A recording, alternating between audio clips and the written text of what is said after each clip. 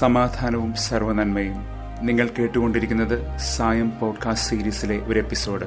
ഞാൻ കപ്പുച്ചൻ സന്യാസ വൈദികനായ ജയന്ത് മേരി ചെറിയാൻ. കഴിഞ്ഞ വർഷം വിശുദ്ധ തിരുനാളിൽ വിശുദ്ധ കൊച്ചുത്രേസ്യയെക്കുറിച്ച് ഫ്രാൻസിസ് പാപ്പ എഴുതിയ ആ ലേഖനത്തിന്റെ തലക്കെട്ട് വിശുദ്ധ കൊച്ചുത്രേസ്യയുടെ തന്നെ ഒരു സൂക്തമാണ്. സെലഖോൺഫിയോൺസ് ധൈര്യം ഒന്ന് മാത്രം. ദൈവം എന്നെ സ്നേഹിക്കുന്നു എന്നതിൽ മാത്രമാണ് ധൈര്യം. ആ ധൈര്യം ഒന്ന് മാത്രം. കഴിഞ്ഞ ദിവസം നമ്മൾ പരാമർശിച്ചൊരു ലേഖനമാണിത്. ഇന്ന് ജോബ് ഒമ്പത്. ജോബിന്റെ വഴികളിൽ ഈ തിരിച്ചറിവ് സഫലമാകുന്നുണ്ട്. ദൈവത്തെ നമുക്ക് വിചാരണ ചെയ്യാനാകില്ല പരീക്ഷിച്ചറിയാനുമാകില്ല.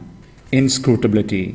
ദൈവം ഈ പ്രപഞ്ചത്തെ സൃഷ്ടിച്ച് നോക്കി നടത്തുന്ന വഴികളെക്കുറിച്ച് ജോബ് വിമർശിക്കുന്നുവെന്നാണ് അവന്റെ സ്നേഹിതനായ ബിൽദാദ് ആക്ഷേപിച്ചത്. അതിന് മറുപടിയാണ് ജോബിന്റെ ഈ ഭാഷണം. കണ്ണുമടച്ച് ചിന്തിക്കാതെ അർത്ഥമറിയാതെ വിശ്വസിക്കുന്ന ഒരാളായിട്ടല്ല ജോബ് ഇവിടെ കാണപ്പെടുന്നത്. അവൻ ദൈവത്തെ പരിശോധിച്ചറിയാൻ ശ്രമിക്കുന്നുണ്ട്. അവൻ അനുഭവിക്കുന്ന ഓരോ വേദനയ്ക്കും അവൻ ദൈവത്തോട് ഒരു നൂറ് ചോദ്യം കാഴ്ചവെക്കുന്നുമുണ്ട്. പക്ഷേ അതുകൊണ്ടൊന്നും കാര്യമില്ല എന്ന് അവൻ തിരിച്ചറിയുകയാണ്. ദൈവം സർവശക്തൻ ദൈവം സർവനന്മയുള്ളവൻ ജോബ് നീതിമാൻ. ഈ മൂന്ന് പ്രമേയങ്ങളിലാണ് ഈ സംവാദങ്ങൾ അർത്ഥം കണ്ടെത്താൻ ശ്രമിക്കുന്നത്. അതുകൊണ്ട് തന്നെ ഇത്ര സർവശക്തിയുള്ളൊരു ദൈവം സർവനന്മയായ ദൈവം ജോബിന് അന്യായമായ വേദന നൽകുന്നു എന്ന് ചിന്തിക്കാനാകില്ല. അഥവാ അങ്ങനെ ചിന്തിക്കേണ്ടി വന്നാൽ ജോബിന് എന്തോ നീതികേട് സംഭവിച്ചിട്ടുണ്ട് എന്നൊരു തീർച്ചയിലേക്ക് നമ്മൾ എത്തിച്ചേരേണ്ടതായി വരും യുക്തിപരമായി ചിന്തിക്കുമ്പോൾ. റെട്രിബ്യൂഷൻ പകരം വീട്ടുന്നൊരു ദൈവം എന്നൊരു സങ്കല്പമാണിത്. ജോബിന്റെ ഗ്രന്ഥം ഈ സങ്കല്പത്തോടുള്ള കലഹം തന്നെയാണ്. ദൈവത്തിന്റെ നീതി ഒരു ഭാഗത്ത് ജോബിന്റെ നീതി മറുഭാഗത്ത്. ഇതിനിടയിൽ റഫറിയാകാൻ ആരെയും കിട്ടില്ല എന്നതാണ് ജോബ് തിരിച്ചറിയുന്ന സത്യം.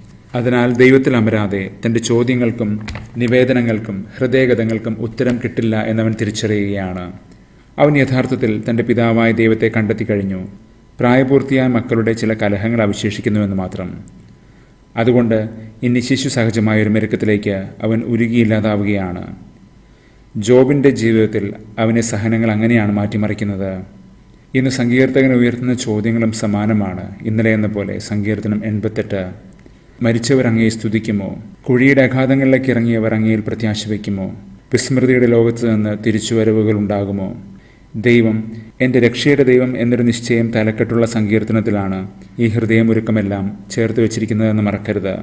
നമ്മുടെ ഹൃദയവേദനകളെല്ലാം ഇനി ദൈവിക വെളിപാടുകളായി പരിണമിക്കുകയല്ലേ? ഏഷ്യ മുപ്പത്തെട്ട് ഒമ്പത് മുതൽ ഹെസക്കിയ രാജാവ് തന്റെ മരണക്കിടക്കയിൽ കിടന്നുകൊണ്ട് തന്റെ നശ്വരതകളെ മാനുഷികമായ താഴ്ചകളെ ഇതേ ചോദ്യങ്ങൾ കൊണ്ട് തന്നെയാണ് തൊടുത്തത്. എന്നിട്ട് ഒടുക്കം അവൻ പറയും ഇതാ ഇന്ന് ഞാൻ ചെയ്യുന്നത് പോലെ ജീവനുള്ളവർ മാത്രമാണ് അങ്ങേ സ്തുതിക്കുന്നത്. വിസ്മൃതിയുടെയും മരണത്തിന്റെയും ദേശത്തു നിന്ന് ജീവന്റെ ദേശത്തിലേക്കുള്ള ഈ പടികയറ്റം നാളെ നമ്മൾ കാണും. ജീവനുള്ളവരുടെ ദേശം. ഇന്ന് വിശുദ്ധരായ കാവൽ മാലാഖമാരുടെ തിരുനാളാണ്. ദൈവം മനുഷ്യനെ തൊട്ടുപാലിക്കാൻ നിയോഗിച്ച ദൈവദൂതന്മാർ ഹെബ്രായർ ഒന്ന് പതിനാല്. രക്ഷയിലേക്കുള്ള നമ്മുടെ പ്രയാണത്തിൽ ദൈവം നിയോഗിച്ച ശുശ്രൂഷകരാണ് ഈ സംരക്ഷകരായ മാലാഖമാർ. ഇന്ന് മത്തായി പതിനെട്ട് പത്ത് പറയുന്നത് പോലെ ദൈവത്തിന് ഏറ്റവും എളിയ മനുഷ്യരോടുള്ള അളവില്ലാത്ത സ്നേഹത്തിന്റെയും ബഹുമതിയുടെയും കരുതലിന്റെയും ഉറപ്പാണ് ഈ വിശുദ്ധരായ മാലാഖമാർ. ഏറ്റവും താണ ഒരു വൃന്ദത്തെയാണ് ദൈവം ഇങ്ങനെ നമുക്ക് കാവലാളായി തന്നിരിക്കുന്നത്. അഗ്നിമയന്മാരായ ഭക്തിജ്വാരകന്മാരായ ഉന്നത വൃന്ദം ദൂതന്മാരെയല്ല നമ്മുടെ ഊഷ്മാവിന് പറ്റിയ ദൈവദൂതന്മാർ. അല്ലായിരുന്നെങ്കിൽ നമ്മുടെ ഉടൽ കരിഞ്ഞു പോകുമല്ലോ. നമ്മുടെ കാവൽ മാലാഖമാർ ദൈവസന്നിധിയിൽ ദൈവത്തിന്റെ മുഖം കണ്ടുകൊണ്ട് നിൽക്കുകയാണ്. നമ്മുടെ പ്രാർത്ഥനകളെല്ലാം അവർ ദൈവസന്നിധിയിൽ ഉണർത്തിക്കുന്നു. നമ്മിൽ നന്മ ഉണർത്തുകയും നമ്മെക്കുറിച്ച് നന്മ ഉണർത്തുകയും ചെയ്യുന്നവർ ദൈവിക മുഖം കാണുന്നവർ. നാളെ നമ്മൾ കാണും സങ്കീർത്തനം ഇരുപത്തേഴ് പറയുന്നത് നമ്മളും ദൈവത്തിൽ എങ്ങനെ ദൃഷ്ടി ഉറപ്പിക്കണമെന്ന്? തന്നെ നാഥൻ വലിച്ചടുപ്പിക്കുന്ന ആ സ്നേഹത്തിന്റെ തീവ്രത ഇന്നലെ വിശുദ്ധ കൊച്ചുത്രേസ്യ പ്രഖ്യാപിക്കുന്നത് നമ്മൾ കണ്ടല്ലോ. തന്നെ മാത്രമല്ല താൻ ആരെയെല്ലാം സ്നേഹിക്കുകയും ആർക്കെല്ലാം വേണ്ടി പ്രാർത്ഥിക്കുകയും ചെയ്യുന്നുണ്ടോ?